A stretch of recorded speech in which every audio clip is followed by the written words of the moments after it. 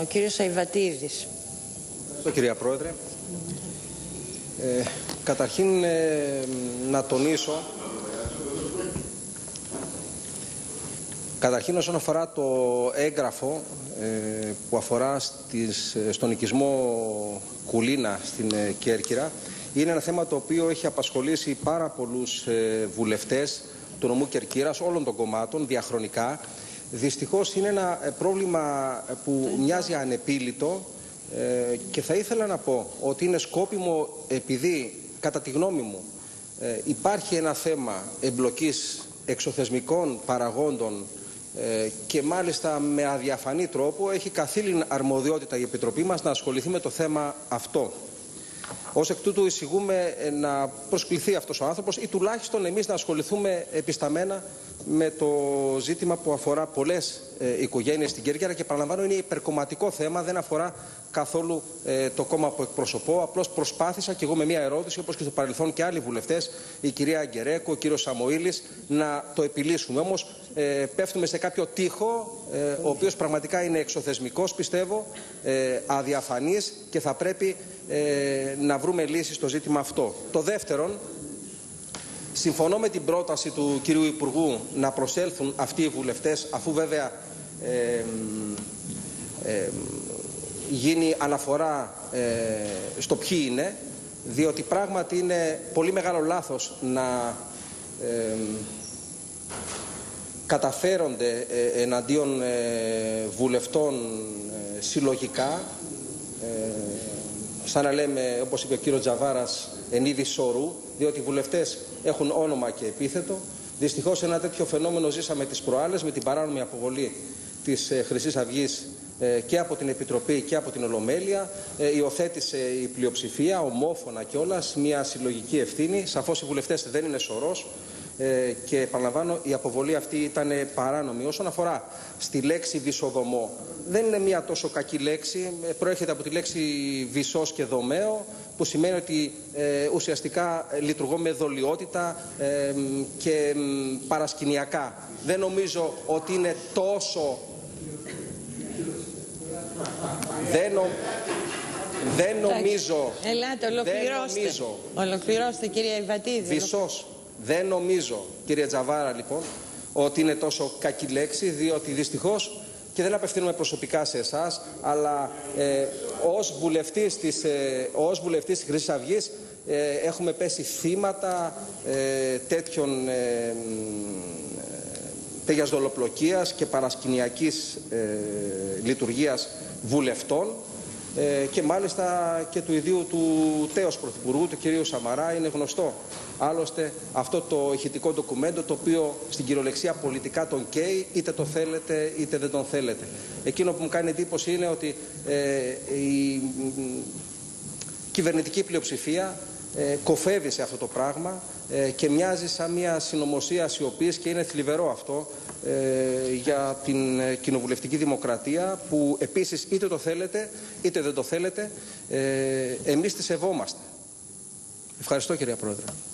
Επομένως, κυρία Πρόεδρε, ε, κυρίες και κύριοι συνάδελφοι, γίναμε θεατές ενός ε, θλιβερού επεισοδίου. Ε, νομίζω ότι οφείλουμε όλοι να το στυλιτεύσουμε. Ε, κυρία Πρόεδρε, δεν αποβάλλεται τον κύριο Τζαβάρα, ίσως όμως και σωστά, διότι είχε μια δικαιολογημένη αγανάκτηση από αυτό το οποίο είπε ο κύριος Υπουργός. Όμως οι επανειλημμένες κρούσεις ε, δια της παλάμης ε, του Εδράνου παρατεταμένα και σε μια έξαλλη κατάσταση ε, τελικώς ε, αυτοαποβλήθηκε και νομίζω έπραξε πάρα πολύ σωστά. Όμως, αλήθεια, τι ευθύνη έχει ο κύριος Αθανασίου ή ο κύριος Τραγάκης για την συμπεριφορά ε, του κυρίου Τζαβάρα, που επαναλαμβάνω μπορεί να είναι και απότοκος μιας δικαιολογημένης αγανάκτησης. Τα λέω όλα αυτά ε, για να τονίσω και να επισημάνω εκ νέου την αδικία που έχει γίνει σε βάρος της Χρυσής Αυγής και η Χρυσή Αυγή για το θέμα της αποβολής για το τέταρτο μνημόνιο ε, θα προσφύγει στο Συμβούλιο της Επικρατείας διότι είναι τελείως άκυρη ε, αυτή η πράξη ε, του σώματος. Αποβλήθηκαν δηλαδή βουλευτές οι οποίοι δεν ήταν παρόντες κατά τη διάρκεια της Επιτροπής ακόμα και ο αρχηγός μας ο Νικόλαος Μιχαλολιάκος χωρίς να φέρει ουδεμία ευθύνη. αυτό τώρα είναι εντός του θέματος. Ε, αφού δεν αποβάλλεται τον κύριο Τζαβάρα, ε, κυρία Πρόεδρε, έχει, ε, είναι ζήτημα. Είναι ζήτημα. Ε, παραλαμβάνω όμως ότι μπορεί να πράξετε και σωστά, διότι ε, είχε μια δικαιολογημένη αγανάκτηση επί της ουσίας. Ε, όσον αφορά στους ε, προτινόμενους, ε, λείπει ο κύριος Υπουργός τώρα, όμως ε, δεν ε, άκουσα κάτι το οποίο να σχετίζεται με την καθήλυνα αρμοδιότητα της ε, ΡΑΣ, της Ρυθμιστικής Αρχής Σιδηροδρόμου. Δηλαδή, αν υπάρχει μια σχετική εμπειρία επί του συγκεκριμένου αντικειμένου. Δηλαδή, αυτό με προβληματίζει. δεν αντιλέγω όλοι μπορεί να έχουν κάποια άριστα βιογραφικά, αλλά επί του θέματος τη γυτνίαση με το ζητούμενο νομίζω ότι πάσχουν και θα είμαι αρνητικός ε, όσον αφορά ε, την τοποθέτησή μας, ε, η άποψή μας.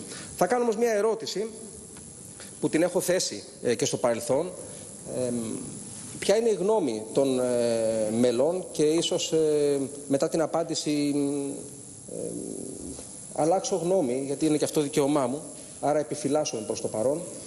Ποια είναι η γνώμη τους; Για την Ιωνία σιδηροδρομική οδό.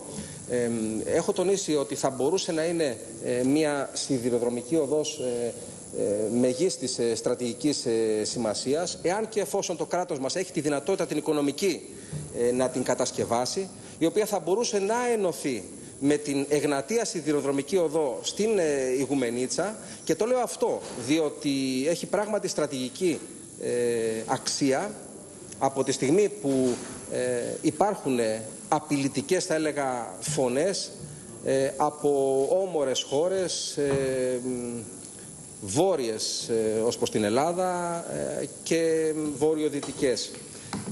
Έχει σημασία διότι ο σιδηρόδρομος μπορεί να εξυπηρετήσει τάχιστα στρατηγικές επιλογές για τη μεταφορά στρατευμάτων εάν και εφόσον χρειαστεί. Μην ξεχνάμε ότι